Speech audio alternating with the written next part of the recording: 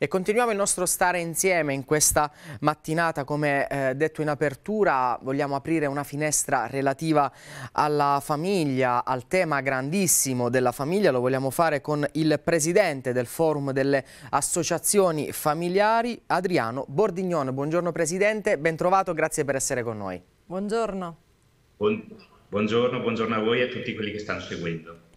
Presidente, sembrano frasi che ci siamo già detti, concetti già espressi, però importanti da ribadire. Quanto è importante investire sulla famiglia per il bene comune, per il bene del Paese?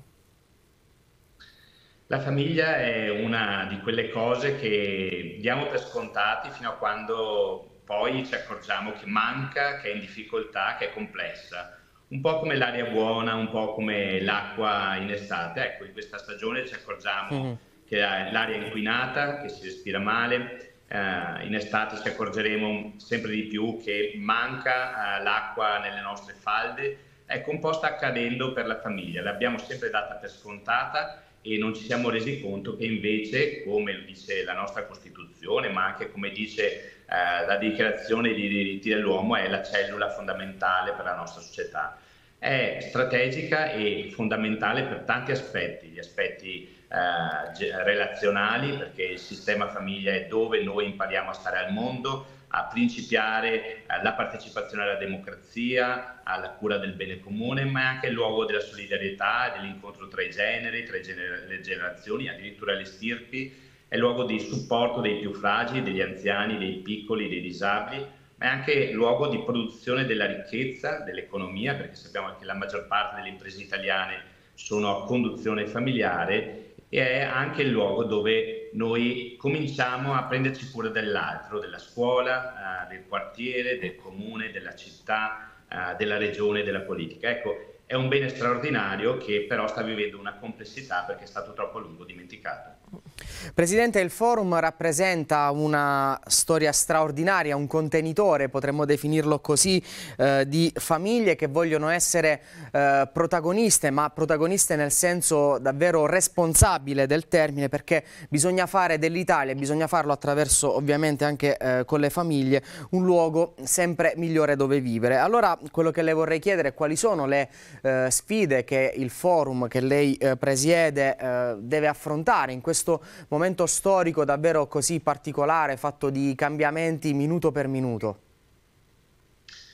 C'è una questione centrale sulla quale ci stiamo uh, muovendo e stiamo combattendo da, da, alcuni anni, è la questione demografica.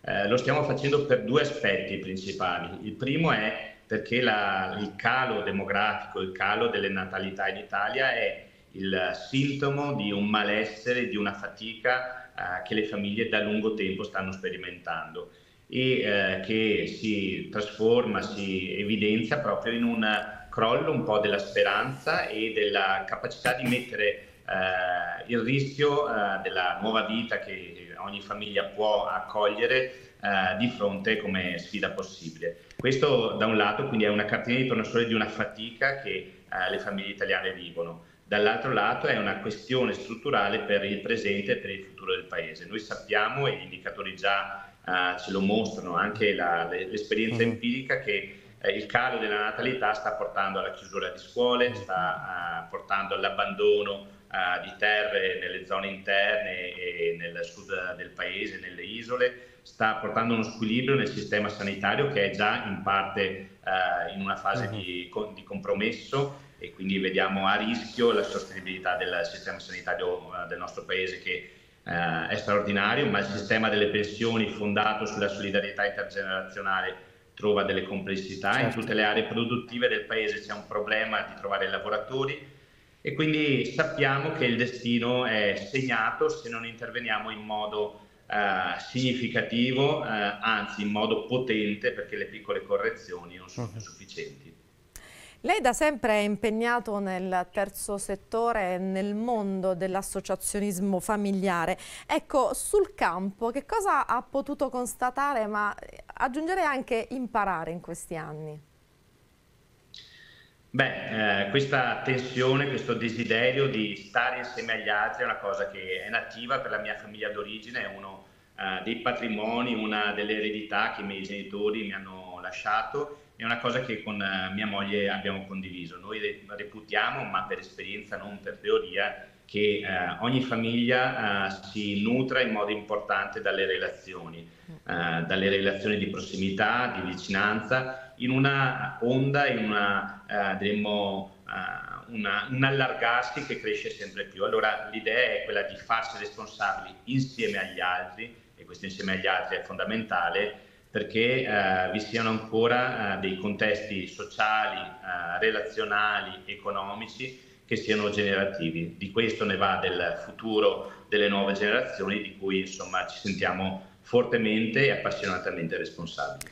Purtroppo Presidente dobbiamo registrare un dato che è negativo, lo riportano un po' tante ricerche, tanti studi, il fatto che le famiglie siano sole, lo sentiamo ripetere davvero potremmo dire in tutte, in tutte, le salse perché le famiglie non sono supportate, non sono valorizzate eh, e poi tutto questo ricade su quell'inverno demografico che stiamo già vivendo, non è una realtà che dobbiamo aspettare ma è presente in mezzo a noi. Allora quello che le vorrei chiedere è in che modo si può contrastare la eh, solitudine delle famiglie e far sì che si possa anche in qualche maniera fare rete, mettere a sistema quella che è la ricchezza dei nostri nuclei familiari.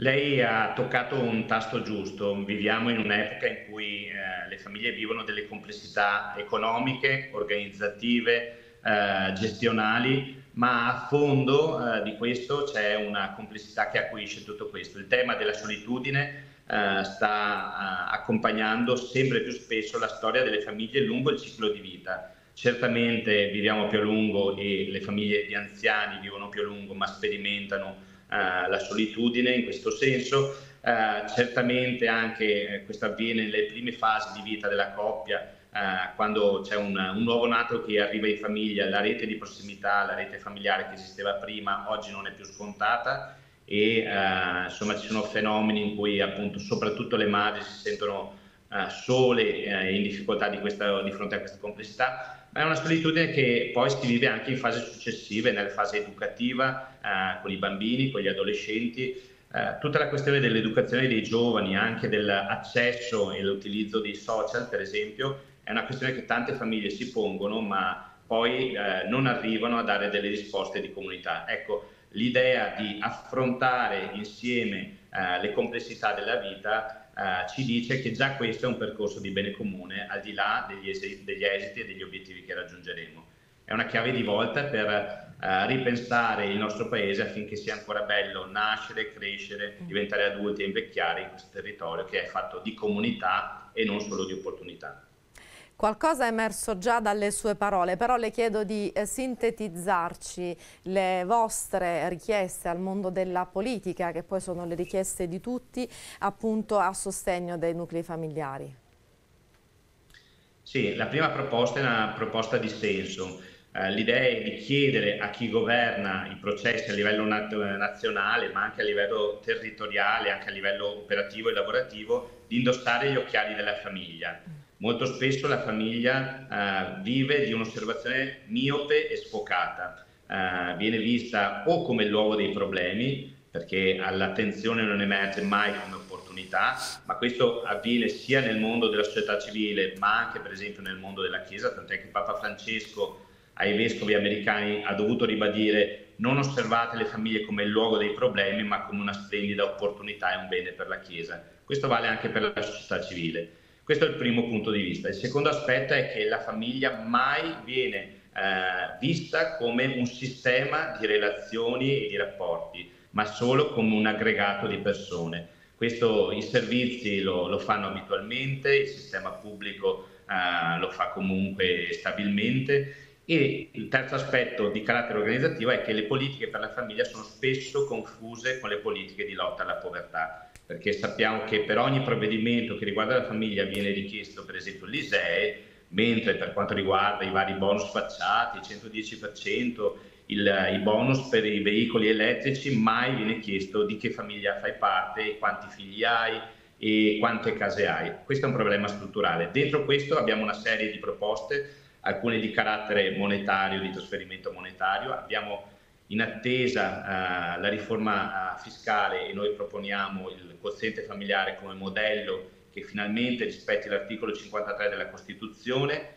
e che abbia un'imposizione fiscale che consideri la composizione del nucleo familiare, la numerosità dei figli e la presenza di fragili anziani nel nucleo familiare. Dall'altro lato abbiamo l'assegno unico che è il primo strumento strutturale di politiche familiari che eh, non va eh, lasciato languire ma va potenziato e reso più semplice di accesso e abbiamo proprio in questi giorni accordato con il Ministero del Lavoro e il Ministero del MEF una, un lavoro, una roadmap per la riforma dell'ISEE. Mm. Poi operativamente bisogna agire su due soggetti principali, donne e giovani, perché vengano riconosciuti nella loro dignità e nelle loro potenzialità eh, lavorative, economiche, relazionali, di partecipazione alla vita del Paese e abbiamo tutta una serie di proposte in questo senso. C'è poi la questione del lavoro, che deve essere un lavoro dignitoso, che eh, allarghi sempre più eh, l'accesso alle persone, ma sia un lavoro eh, che permetta a ognuno di noi di avere una continuità di vita eh, e di lavoro e non vi sia una cesura, una separazione eh, che poi magari è a svantaggio delle relazioni familiari. Quindi un lavoro dignitoso, adeguatamente remunerato, con politiche organizzative e di welfare che riconoscano la, la significatività dei carichi familiari e a fianco a questo servono servizi territoriali. Le famiglie hanno bisogno di servizi e laddove non ci sono servizi nascono meno bambini o i giovani e le famiglie si spostano in altre parti del paese o d'Europa c'è tanto lavoro da fare, insomma, e cercare di racchiuderlo in pochi minuti è complicato e allora Presidente noi siamo sempre a disposizione del forum ovviamente per le vostre iniziative e anche per tenere alto lo sguardo sulla famiglia perché basta poco davvero per eh, un attimo in cui magari ci si lascia sfuggire eh, un, un, argomento che eh, subito ehm, poi magari la famiglia viene in qualche maniera messa in secondo piano. Questo non deve accadere e noi siamo pronti davvero a eh, sostenere in qualche maniera eh, attraverso la nostra attività editoriale eh, il tema della famiglia e nel frattempo la ringraziamo per essere stato con noi. Grazie. Grazie, vi auguriamo buon lavoro e anche noi continuiamo con grande entusiasmo e la sfida grande non ci spaventa. Assolutamente. Grazie, buon lavoro. Grazie, grazie Presidente, ringraziamo Adriano Bordignone, Presidente del Forum delle Associazioni Familiari, ora andiamo in pubblicità.